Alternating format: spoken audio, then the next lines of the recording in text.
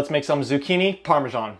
Oh, First, chop your zucchinis into half inch or one centimeter slices. Next, crack two eggs into a wide bowl and whisk them up. In a second bowl, add three quarters of a cup of breadcrumbs, a quarter cup of finely ground Parmesan cheese, one tablespoon of dried Italian seasoning, and a pinch of salt. Heat up a skillet to medium-high heat with a shallow layer of olive oil. Then dip your zucchini in the egg batter and dunk it into the breadcrumbs before popping it into the olive oil. Repeat this process until the skillet is full and flip once the bottom side is golden. Once both both sides are golden, remove and place the slices on a baking sheet. Cover each slice with a big scoop of marinara and a handful of shredded mozzarella. Place into an oven preheated to 400 Fahrenheit. Once the cheese is bubbling, remove from the oven and either enjoy immediately or once the baking sheet has cooled, place it in the freezer for three hours. Once each individual slice is frozen, remove them from the freezer and place them into a container to enjoy through the winter.